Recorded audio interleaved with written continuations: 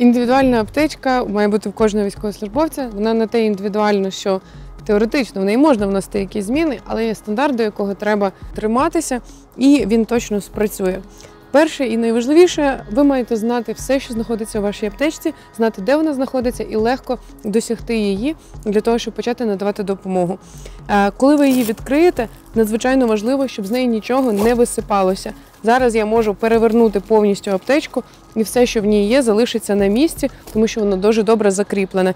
Якщо з вашої аптечки просто вибухає якась пачка таблеток, то це не спрацює. А Що ж має бути в аптечці? Перше, найважливіше для всіх військовослужбовців турнікет одноразовий, яким ви вмієте користуватися, на якому ви точно не тренувалися, який зберігається так, щоб вся липучка була по максимуму закрита, щоб вона не забивалася пилом, брудом, травою, землею. І він, звісно, має бути в найбільш доступному місці. Що ще нам може бути потрібно в максимально швидкому доступі? Якісні атравматичні ножиці, якими можна легко зрізати одяг для того, щоб визначити місце кровотечі. Вони мають бути з тупим кінцем для того, щоб безпечно зрізати одяг, не пошкоджуючи при цьому шкіру. Рукавички. Тому що наша безпека понад усе, ми маємо обов'язково захищати себе, коли ми працюємо з чужою кров'ю. Надзвичайно важливо навчати цьому і під час тренінгу, і постійно не забувати самим. Ем, оскільки проблема гепатитів е, і інших інфекцій, які можуть передаватися через кров, в армії стоїть так само гостро, як і в усій Україні. Ми, на жаль, є лідером з мульти... поширення мультирезистентного гепатиту С, тому, будь ласка, захистіть себе перед тим, як допомагати іншим. Також для турнікета нам знадобиться маркер для того, щоб швидко записати час накладання турнікета. Це дуже важливо для лікаря приймального, який прийме вашого пораненого і е, зрозуміє, скільки часу пройшло від накладання турнікета. Люди часто думають, що потрібно через деякий час послабити турнікет, або що кровотеча якимось чином магічно зцілиться самостійно і можна буде його зняти. Ні, на жаль, це так не працює. Турнікет буде на кінцівці доти, доки його не зріже хірург, коли вже закінчить обробку рани. Якщо проходить декілька годин після того, як турнікет був накладений, нирки людини можуть не справитися з напливом токсинів, які прийдуть із кінцівки, яка весь цей час була без кисню. Тому нам так важливо записати час накладання турнікета для того, щоб лікар приймального відділення або хірург, який працюватиме з нашим пораненим, зрозумів, скільки минуло часу, і якщо нам потрібно полікувати наслідки довготривалого накладання турнікета, це дуже просто вирішується кілька крапельниць, і з людиною все буде окей. Найдовший відомий час накладання турнікет це дуже детально описаний науковий випадок 16 годин. Евакуація з віддалених гірських районів. Кінцівку зберегли, людину врятували, і тому ми точно знаємо, що ми не послабляємо турнікет і не знімаємо його. Медик натомість може під час евакуації прийняти рішення замінити турнікет, але для того, щоб це зробити, вам потрібно стати бойовим медиком Збройних сил України. Ми з радістю вас цьому навчимо. Але для звичайного військовослужбовця або для звичайного е, того, хто надає допомогу, ми цього з цим не займаємося. Наклали турнікет, записали час і забули про нього. Що нам ще потрібно для зупинки масивних кровотеч, які загрожують життю? Кровотечі бувають не тільки з тих місць, де можна накласти турнікет, наприклад, пахва, пах, сідниці. Для цих місць у нас є марля для тампонування. Це може бути марля з гемостатиком, найрозповсюдженіша ось ця е, квіклот на основі каоліну, який допомагає згущувати кров і утворити згусток крові. І завдяки тиску, який ми вчинимо бинтом, ми створюємо якісну зупинку кровотечі в місцях, де неможливо накласти турнікет. У нас може бути також звичайна марля без гемостатика, просто щільна марля, якою ми тампонуємо ці кровотечі. Це вміння обов'язково для всіх військовослужбовців, тому що кровотечі з ділянки паху знов таки надзвичайно часто стаються при мінно-вибухових травмах. Далі нам знадобиться щось, щоб е, підтримувати прохідність дихальних шляхів. І для цього ми всіх навчаємо ставити назофарингеальний повітровід, або, як ми його просто називаємо, трубка в нос. Вона має підходити вам за розміром і містити в комплекті лубрикант для того, щоб полегшити її введення. Ця штука допомагає людині дихати, коли вона непритомна, навіть якщо вона лежатиме на спині чи в іншому незручному для дихальних шляхів положенні.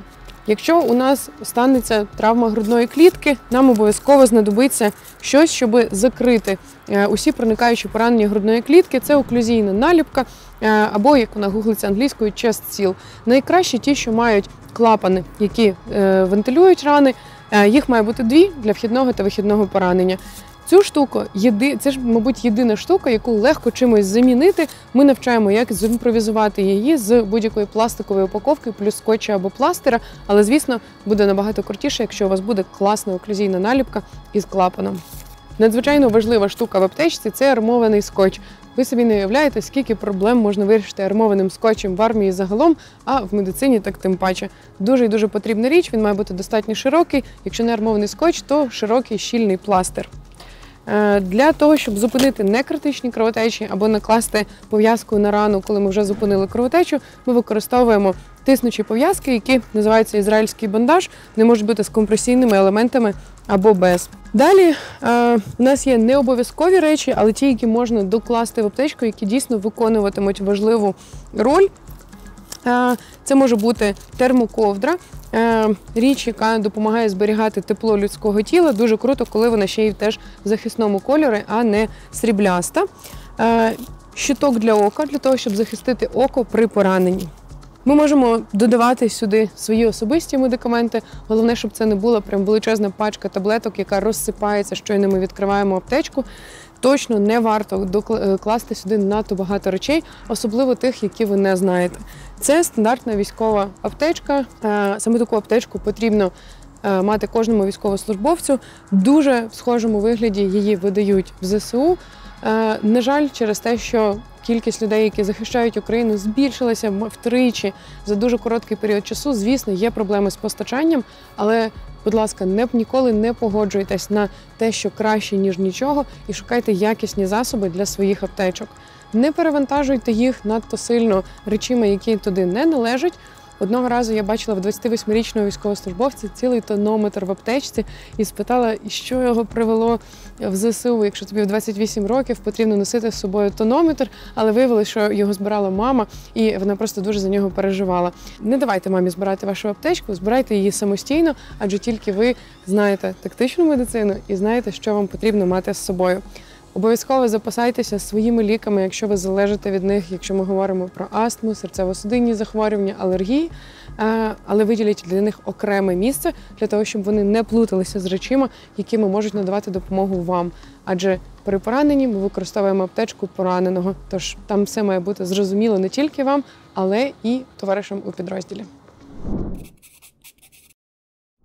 Про яку війну ви думаєте, коли дивитесь на таку аптечку? Про Другу світову, а може про першу?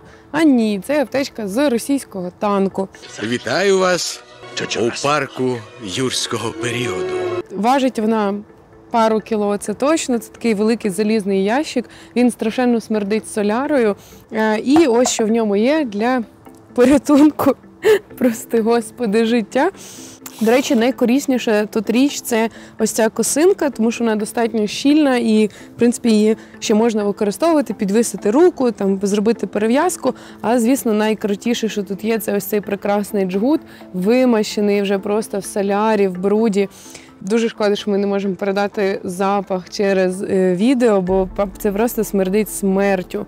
І е, усвідомлення того, що з такими аптечками русня йде воювати, це прям дуже і дуже класно. Тут також є е, і пакет 92-го року. Це свіжак, я кажу чесно, тому що у нас з колегами ми ведемо таку.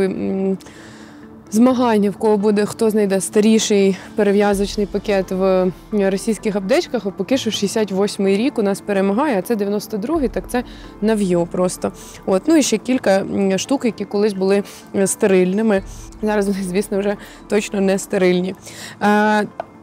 Не треба надто очаровуватись тим, що ми завжди були такі класні, і у нас завжди були стандарти НАТО. Ні, в 2014 році ми починали війну з дуже схожими засобами, як цей. І е, досі іноді, на жаль, мені зустрічаються люди, які є такими свідками секти працюючих есмерхів, бо батя казав, що воно ще працює. Е, але ми пройшли величезний шлях з 2014 року і по сьогодні для того, щоб наша індивідуальна аптечка була дійсно такою, як у більшості розвинених країн країн НАТО.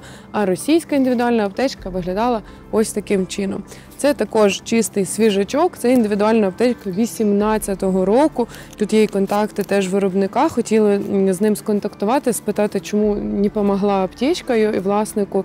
Е, От, але тут ви також бачите резиновий е, жгут, який не спрацює. Е, Ще більш новіший перев'язувальний пакет. Треба розуміти, що е, такі штуки вони не всі виготовлені ще от за радянського союзу. Вони досі продовжують їх виготовлювати і е, серйозно сприймати. Ну а найцікавіше, що тут є, звісно, це пам'ятка вкладиш е, аптечки першої допомоги індивідуальної. Саме з неї ми знаємо, кому дякувати в главному воєнно-медицинському управлінні Російської Федерації, тому що склад такої аптечки затверджений колегією з 14 професорів. І ще раз вам нагадаю, що в 2014 році наші професори були не сильно далеко від цього. У нас був страшенно розповсюджений міф про велику Санкт-Петербурзьку воєнно-медицинську академію. Всі хотіли там вчитися і викладати, але слава Богу, що ми послали нахер ту академію і перейшли до того, щоб навчатися тактичній медицині, яку може викладати звичайний сержант, бойовий медик, навіть без медичної освіти, який отримує знання з тактичної медицини. Вони в нього відскакують від зубів, і він може врятувати життя замість того, щоби, як ви бачите. У нас тут є великолепні ілюстрації про те, що треба робити, коли отримав російську аптечку. Схопитися за голову і зрозуміти, що ти пішов зовсім не туди, куди треба. Е, Звісно, що в цій аптечці також мало бути ще знеболювальний засіб в шприц-тюбіку. Це просто альфа і омега російської аптечки, е, також ще з радянських часів, тому що хай помирає і не кричить. Ось таким принципом, я думаю, що досі користуються військові медики Російської Федерації. В наших аптечках натомість вже давно немає знеболювальних у шприц-тюбиках, тому що більшість із них мають побічний ефект у вигляді пригнічення дихання та викликання блю... е, та того, що вони викликають блювання. Е, На жаль, були пацієнти, які кололи собі самостійно цей бейсбол, друг пробіг вколов бейсбол, медик вколов бейсбол, в нього наступив передоз. Тому ми зовсім не користуємося цими препаратами. Медики можуть використовувати класні, сильні препарати без побічних ефектів для того, щоб знеболити постраждалого, але бійці вже не використовують знеболення. Повірте, біль не вбиває, больового шоку не існує. Це величезний міф теж ще радянських часів. Людину вбиває незупинена кровотеча, людину вбиває незаклеєна дірка в грудній клітці, але біль людину точно не вбиває. Коли ми, медики, дістанемося пораненого, ми обов'язково знеболимо і зробимо все, щоб йому було комфортно. Але на рівні бійця абізбол призводить тільки до зупинки дихання і смерті не внаслідок поранення, а внаслідок саме цього наркотичного засобу. В жодній з трофейних російських аптечок нам не вдалося знайти абізбол. Ми впевнені, що його вкололи в перші ж дні просто так, аби було. Тому до нас доходять тільки ось такі агризки. Ось аптечка е, орка, який явно збирав її е, е, е, з мародерених речей. Очевидно, що це намародерені е, турнікет, ну і багато якихось його особистих засобів, зеленка, чи, чи є зеленка в шприце, є ще таблетки якісь, зеленка в фломастері, якісь таблетки і таке решта. Але це не так цікаво. А от є в нас класний цікавий експонат, який можна показувати виключно в рукавичках, тому що на ньому лишились, е, скажімо так, генетичні рештки власника. Як то кажуть, аптечка не допомогла. Це індивідуальна аптечка е, російського солдата, який був е, на Київщині і, скоріш за все, займався звірствами в селах на Київщині і встиг також намордерити турнікет у нашого військовослужбовця.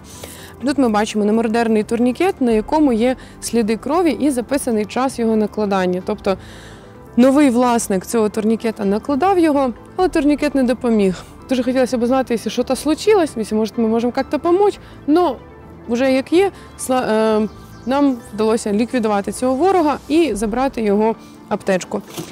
Тут ми бачимо також супердревній, е, бандаж, теж вкритий, е, теж вкритий кров'ю.